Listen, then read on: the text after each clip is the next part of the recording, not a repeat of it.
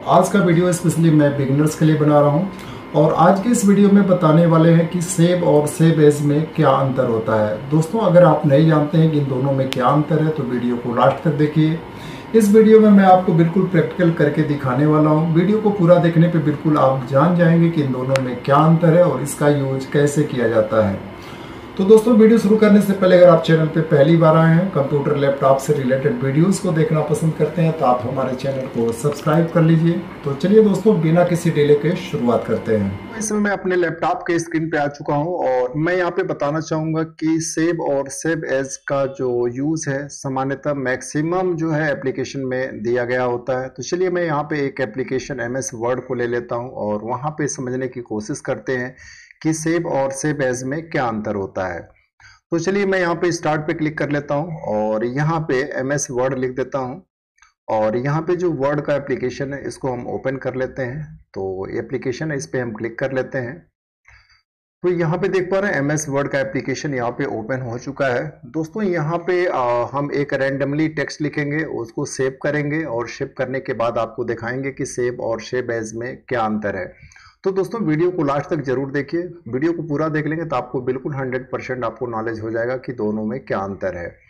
तो दोस्तों, यहाँ पे हमको टाइप करना पड़ेगा और एम एस वर्ड के अंदर एक बहुत ही एक मैजिक वाला जो है फ़ंक्शन है, उसको हम यहाँ पे यूज़ करेंगे और यहाँ पे हमको रैंडमली टेक्स्ट मिल जाएगा और उसी को हम यहाँ पे सेव करके आपको दिखाएँगे और इससे आपकी समय की भी बचत होगी। तो दोस्तों random text M S word में लिखने के लिए आपको इक्वल टू शाइन लिखना है। और इसके बाद यहाँ पे आपको R A N D rand लिखना है। इसके बाद यहाँ पे आपको कितनी लाइंस चाहिए और कितने पैराग्राफ चाहिए। तो मैं यहाँ पे चाहता हूँ कि 10 पैराग्राफ हो और प्रत्येक में 10 लाइन हो। तो ये इस तरह से आप कमांड दे सकते हैं। यहाँ पे ब्रैकेट आपको बंद करना है। जैसे हम यहाँ पे इंटर कर रहे हैं तो देख पा रहे हैं। और यहाँ पे हमको लिखे लिखा है रेंडमली टेक्स्ट आ चुके हैं। तो हमको लिखना नहीं पड़ा, इसलिए इसको मैंने यहाँ पे यूज़ किया। और आप कमेंट करके बताइएगा कि ये फ़ंक्शन आपको कैसा लगा। तो चलिए, यहाँ पे आप देख पा रहे हैं। यहाँ पे टेक्स्ट को लिखा जा चुका है। अब हम सबसे पहले इसको सेव करेंगे। सेव करने का क्या मतलब होता है कि जब भी किसी फ़ाइल को हम सेव करते हैं तो सेव के तो सेव करने से पहले वो हमारे रैम के अंदर होता है। रैम जो है टेम्परेरी होता है। टेम्परेरी मेमोरी होती है। अगर लाइट की सप्लाई चल जाए हम एप्लीकेशन को बंद कर दें तो जो भी कुछ हमने लिखा है, वो चीज़ हमको नहीं मिल पाएगा। और जब फ़ाइल को सेव कर देते हैं तो कंप्यूटर, लैपटॉप जो भी हो, उसके हार्ड डिस्क में जाके सेव हो जाता है और उसको हम फ्यूचर में इस्तेमाल कर सकते हैं। तो चलिए, सबसे पहले इसको हम सेव करेंगे। तो दोस्तों, सेव का मतलब होता है किसी भी डेटा या इंफॉर्मेशन को जो भी फ़ाइल हम बनाए हैं, उसका रिकॉर्ड जो है, कंप्यूटर, लैपटॉप के हार्ड डिस्क में सेव करना होता है, जिससे कि हम उस फ़ाइल को इन फ्यूचर इस्तेमाल कर सकें। तो आपको सेव करने के लिए फ़ाइल पे क्लिक करेंगे। यहाँ पे आपको ऑप्शन मिल जाएगा सेव यहाँ पे आपको सेव पे क्लिक करना है। सेव पे क्लिक करने के बाद पूछा जा रहा है, आप इसको कहाँ पे सेव करना चाहते हैं? तो मैं यहाँ पे डेस्कटॉप सेलेक्ट कर लेता हूँ। डेस्कटॉप के बाद यहाँ पे देख पा रहे हैं, जो भी सामान्यतः हमारे वर्ड की फ़ाइल में लिखा होता है, उसका पहला जो लाइन जो है, यहाँ पे बाय डिफ़ॉल्ट आ जाता है। इसको हम अपने हिसाब से चेंज कर सकते हैं। और चलिए, इसका नाम मैं यहाँ पे सेव लिख देता हूँ। यस ए वी ए तो मैंने यहाँ पे सेव लिख दिया। और इसको डेस्कटॉप पे हम सेव कर लेते हैं। तो जैसे मैं क्लिक किया तो जो इसका ये रिकॉर्ड है, हमारे इस डेस्कटॉप के स्क्रीन पे आप देख पा रहे हैं, यहाँ पे, अब यहाँ पे सेव आ चुका है। तो चलिए मैं इसको एक बार फिर से ओपन कर लेता हूँ। तो आप देख पा रहे हैं, जैसे ये ओपन होगा तो इसके अंदर जो भी कुछ मैंने लिखा था, लगभग आप देख पा रहे हैं यहाँ पे। अगर नंबर आप पेजेस की बात करें तो आप देख पा रहे हैं इसमें तीन पेज लिखा हुआ है ऑटोमेटिक या रैंडम टेक्स्ट था। अब मान ली इसके अंदर हम यहाँ पे लास्ट में कुछ और टेक्स्ट इसमें अगर हम लिखना चाहते हैं, जैसे मान ली मैं यहाँ पे कुछ randomly A B C D कुछ भी मैं आप यहाँ पे टाइप कर देता हूँ, आप कुछ भी यहाँ पे लिख लीजिए। सिर्फ़ मैं आपको बताने के लिए, आप देख पा रहे हैं, मैंने यहाँ पे रैंडमली कुछ टेक्स्ट ऐसे टाइप कर दिया है।